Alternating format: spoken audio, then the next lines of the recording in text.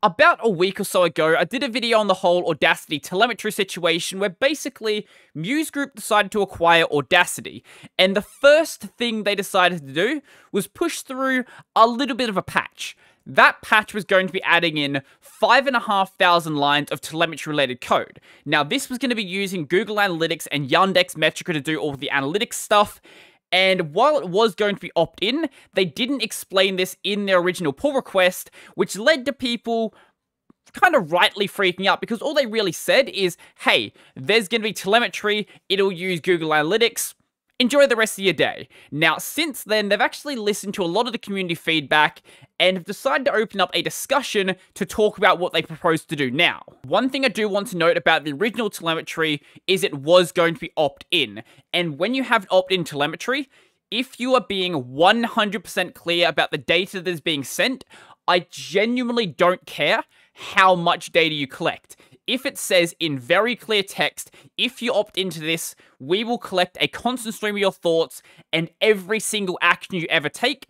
If you opt into that, that is entirely your own fault. Now, with their original telemetry, it was saying things like, we will collect anonymous usage statistics. That isn't clear. While you could certainly speculate about what that means and assume things like it's not sending your real name back, different companies have different definitions for what that actually means. It wasn't actually showing you the exact data being sent. So what they're planning to do is very simple. Firstly, we are dropping the features proposed in PR 835. That was the original telemetry pull request. Now, I'm really surprised about this because they were very clearly set on telemetry actually being useful, even if it was going to be opt-in telemetry. I had expected for them to, I guess, restructure the way it works, maybe just stop using Google Analytics, but continue with the telemetry. My guess is sometime in the future, they will probably bring it back. Secondly, Regarding features that require networking, we would like to include error reporting and the ability for Audacity to check for updates. Now, I didn't know that error reporting was just missing from the application. That's a perfectly reasonable feature to have there. Now, as for checking for updates, I'm not as big of a fan of, but I can understand why it's going to be there. And lastly, all of the error reporting servers and update checking servers are going to be self-hosted. Now, they fully acknowledge that this was a massive blunder on their part and probably should have never happened. As they say here, we're very sorry for causing so much alarm our intention was to make an initial announcement about our plans to introduce telemetry on the Audacity forum, similar to how we discussed the topic for MuseScore in 2019. In that instance, I think the fact that we introduced the issue openly resulted in a lot less suspicion. So basically what I said last time, where what they probably should have done isn't made the pull request, they should have opened up an issue or a discussion about it, and then if people, you know, liked the way it was going, then make the pull request so you don't have a bunch of this wasted effort. And also just results in less people generally freaking out. You can certainly argue whether telemetry is a good idea in the first place, but without having that discussion, especially since a company had just acquired Audacity, it looks like the company is basically just trying to co-opt the application. They go on further to say that Audacity has no interest in harvesting or selling personal data, and Audacity will always be free and open source. The response to PR 835 has brought about a realization at Muse that the convenience of using Yandex and Google is at odds with the public perception of trustworthiness. Now, I've had a couple of people complain to me about this phrasing right here because you can basically show that Google Analytics is not trustworthy because, yes, Google will openly sell data. The reason why they said this right here, this is basically lawyer speak for do not sue us, Google, we are not slandering your company. Now, on telemetry, they say telemetry is a practical tool that tells us a lot about how an app is performing or underperforming.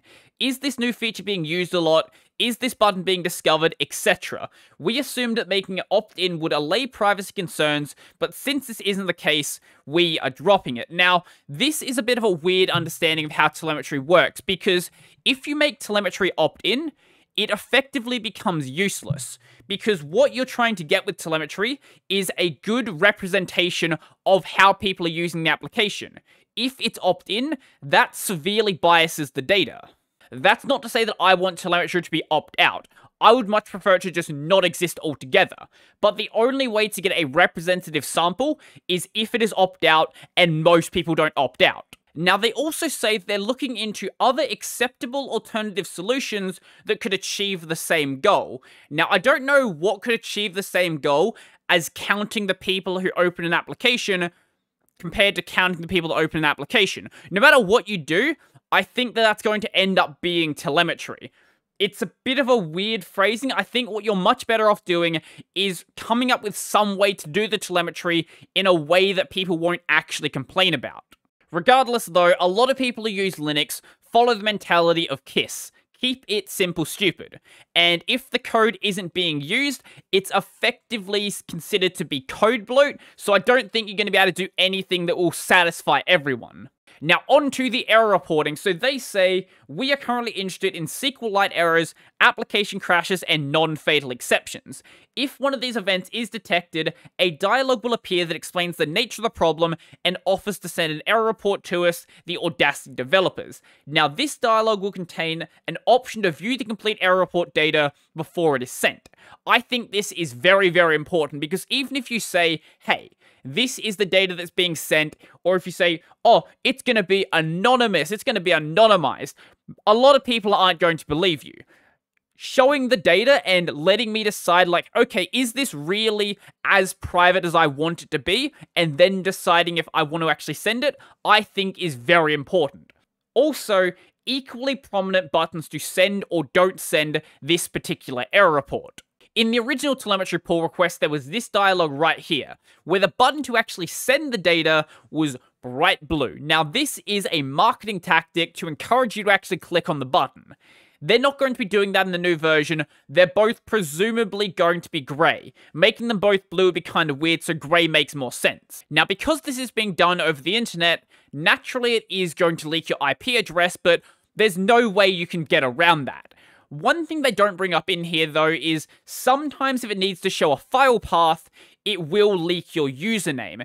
It isn't clear whether that part of the path is going to be truncated or what's going to be done to that, but I think that is something that does need to be considered.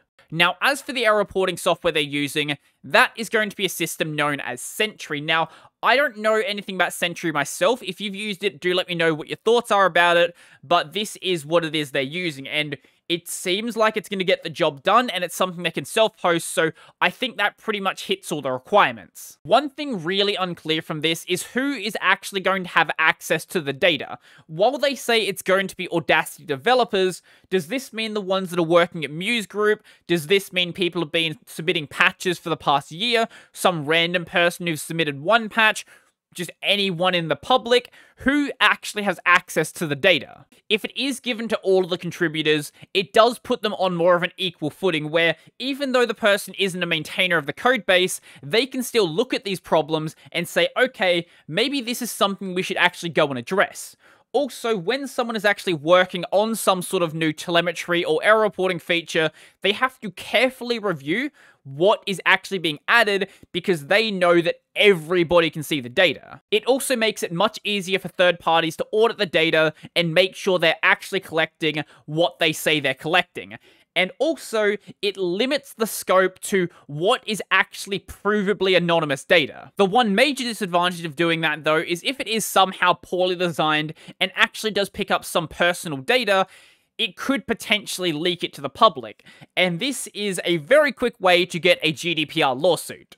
Now onto the update checking, which is where stuff gets a little bit weird again. So they say, there will be an option to disable automatic checking. This implies to me, I might be reading it wrong, but what this is saying to me is that update checking is going to be opt out. Now, I'm not saying this is a bad feature, but the way that I would go and handle it is the first time you go and open up the application, it just shows you a prompt saying, hey, do you want to have automatic update checking enabled? Yes or no?